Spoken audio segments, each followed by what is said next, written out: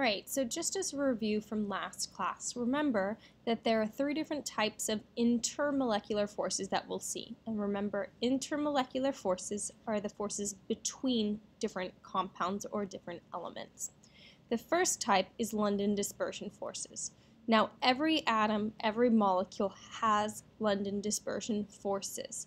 These are induced dipoles, meaning there's an, an attraction that occurs, but it is happens in one second and then it'll go away. So London dispersion forces are very weak, but they exist for every single molecule in every single atom. Now, dipole-dipole forces, the reason why those exist is because a molecule will be polar, meaning it has a permanent dipole, meaning one side of it's going to be partially positively charged while another one will be partially negatively charged. Remember with your dipoles, we showed those arrows representing, for example, if you had H and O, oxygen is more electronegative, so it would be partially negatively charged permanently. So dipole-dipole forces are stronger for the most part than London dispersion forces, but they only exist in polar molecules. Now, a hydrogen bonding is a type of dipole-dipole force, but hydrogen bonding can only occur between hydrogen because it's very, very, very not electronegative, and fluorine, oxygen, and nitrogen, which are very electronegative. So the reason why hydrogen bonding is so much stronger than dipole-dipole is because there's a greater difference in electronegativity between hydrogen and FO or N. And so you just don't see that degree of difference with just regular dipole-dipole forces. So for hydrogen bonding, again, it has to be a polar molecule, but that molecule must have hydrogen and F, O, or N. So let's look at, within one type of intermolecular force, how the strengths of those bonds differ. Okay? So first we're going to be talking about the intermolecular forces, which I just talked about, which are for molecular compounds. And then we're going to talk about ionic and metallic.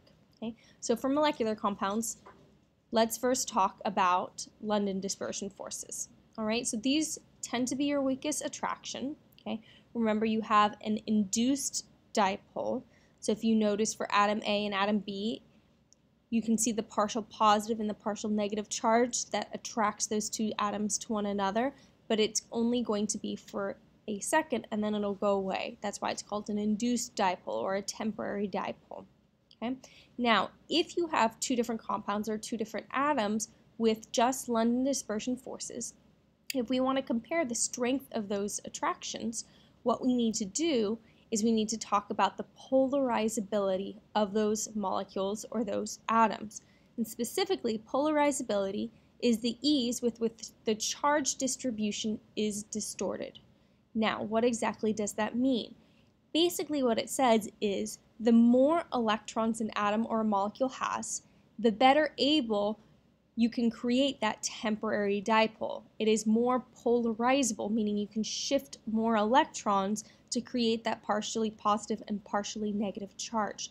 So the more electrons an atom or a molecule has, the stronger its London dispersion forces. So if you notice here, neon versus fluorine, if you look at the periodic table, fluorine has a total of 18 electrons, while neon only has 10. So fluorine has a stronger intermolecular force. Its London dispersion forces are stronger. And the way we represent that is with a higher boiling point.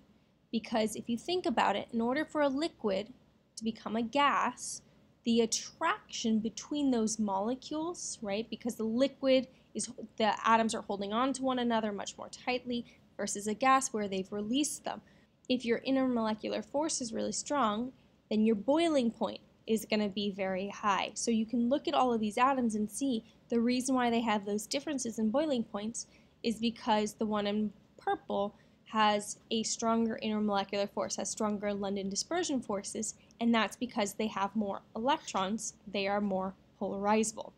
The other factor that affects London dispersion forces is the shape. If you notice the difference between those two molecules right there, they have the same formula. The only thing that's different, so it's not a polarizability issue, it has to do with the surface area. If you notice the one on top, since it's linear, there is larger surface area for those two molecules to attract one another. Versus the one on bottom, if it's a sphere, there's less surface area.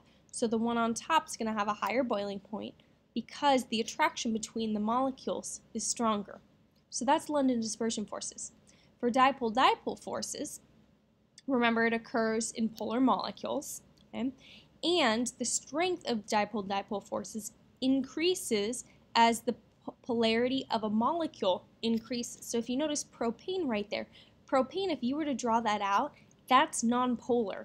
So the strength of its dipole-dipole force is very, very, very weak. Okay? But if you notice as you increase the polarity of a molecule as it becomes more and more and more polar, right, mm-hmm. until you get to with nitrogen, which is extremely electronegative, so it's going to have a partially negative charge on that nitrogen, much more than that oxygen, then you're going to increase the dipole-dipole forces. Okay? And then for the last one, for hydrogen bonding, keep in mind that the hydrogen bonding is going to be, whenever you have hydrogen bonding, it's going to be stronger than London dispersion forces or dipole-dipole forces. Keep in mind, as you look at this, notice the hydrogen that's acting at, for the hydrogen bond, notice that hydrogen is attached to either an oxygen, a nitrogen, or a fluorine. So not only does it have to be attracted to the oxygen of another molecule, but it itself has to be bound to F, O, or N. Okay? And so those four dots, five dots right there represent that extremely strong hydrogen bond, that intermolecular force.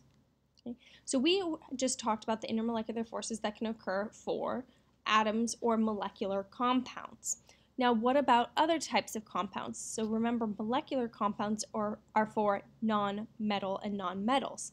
Well, what if you have a metal and a non-metal? What if you have ionic bonding, okay, which is between a metal and a non-metal? Here, you're going to have that lattice structure. So you're not going to have these intermolecular forces of hydrogen bonding, London dispersion forces, or dipole-dipole. What's going to be attracting those ions together is this lattice energy, this bond between positive and negatively charged ions. And so that attraction is much stronger than the intermolecular forces we were talking about before because this is actually an intramolecular force. It's within a compound. And finally, we have metallic bonding. Okay? And metallic bonding is just between one type of metal, and notice the electrons move freely through that metal. Now, remember, you've got your covalent bonding with molecular compounds, you've got ionic compounds, and now we've introduced metallic bonding. Now, a cool characteristic of metallic bonding is that it can conduct electricity. And the reason why metals conduct electricity is you can see how freely those electrons can move. And so if you stick, for example, a fork into a socket, a metal fork, it will conduct electricity because its electrons are free to move throughout.